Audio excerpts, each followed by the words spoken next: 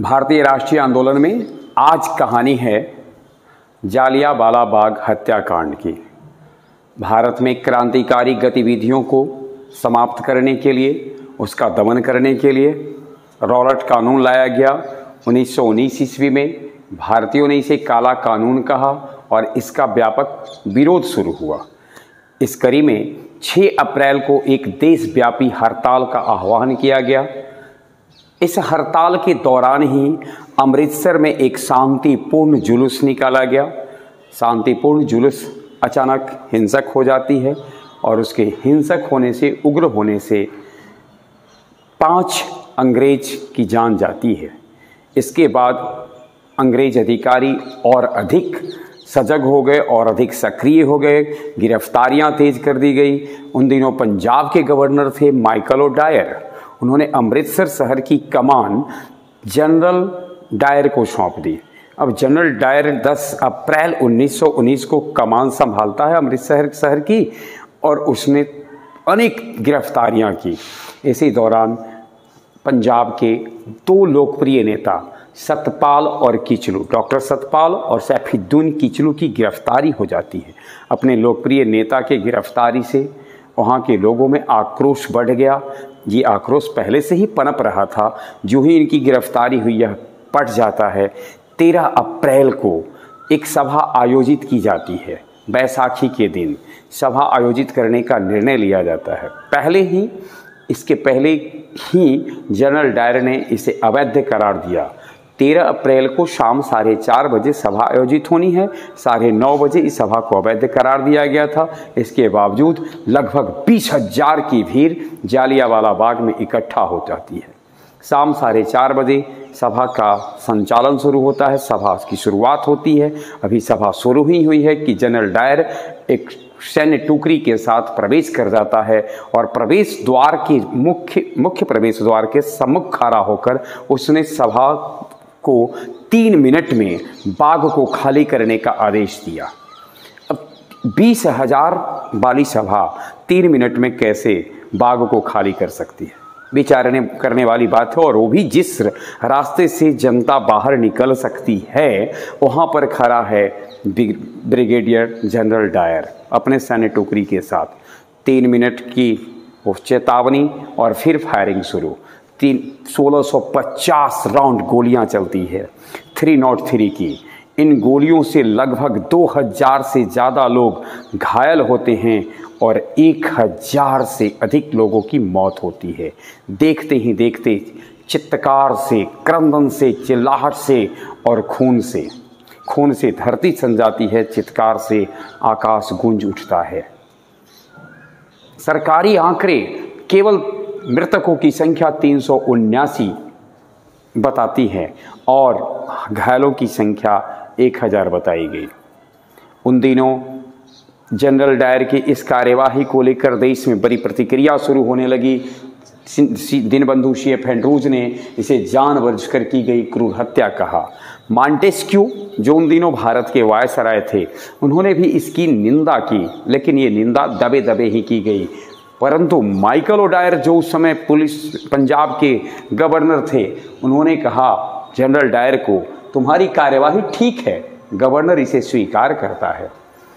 इस घटना का भारत में व्यापक विरोध शुरू हुआ।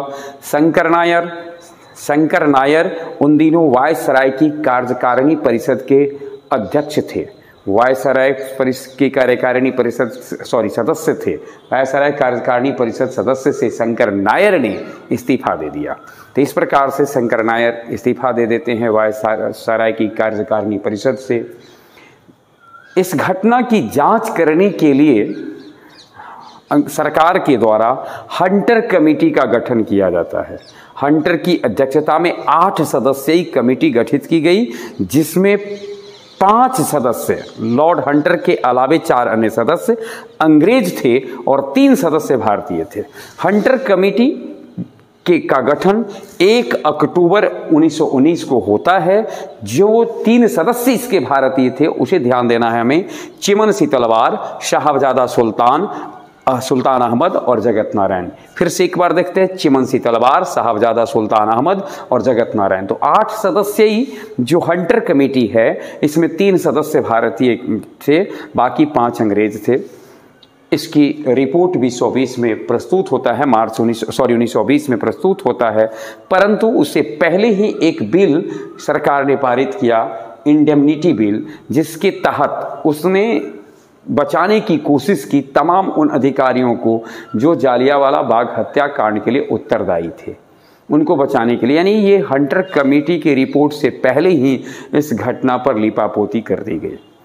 कांग्रेस ने मदन मोहन मालवीय के नेतृत्व में, मदन मोहन मालवीय के नेतृत्व में एक कांग्रेस ने एक अलग से जाँच कमेटी गठित की।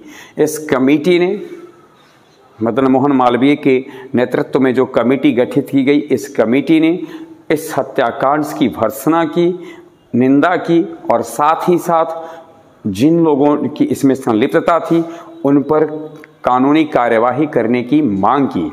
आ, साथ ही जो हताहत हुए थे जिनकी जिन जो घायल हुए थे जिनकी मौत हुई थी उनके परिजनों को आर्थिक सहायता देने की बात कांग्रेस की कमेटी जो मदन मोहन मालवीय जी के नेतृत्व में गठित की गई थी, जाँच कमेटी उसने मांग की। परंतु कुछ विशेष इसका परिणाम नहीं हुआ।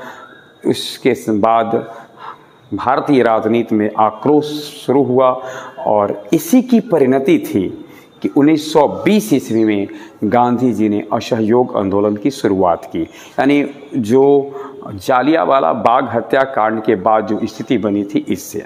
लेकिन इस घटना में एक बालक उस समय लाशों की ढेर पर बच जाता है।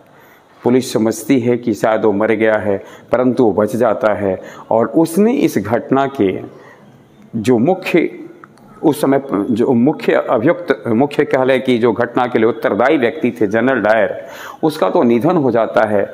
परंतु माइकल ओ डायर की हत्या जाकर उन्होंने लंदन में करते हैं। वो थे उधम सिंह। उधम सिंह ने जनरल डायर और माइकल ओ डायर को मारने की कसम खाई और अपनी कसम को पूरा करने के लिए वो लंदन तक गए। लंदन में जाकर के उन्होंने माइकल डायर की हत्या कर दी 1940 ईस्वी में।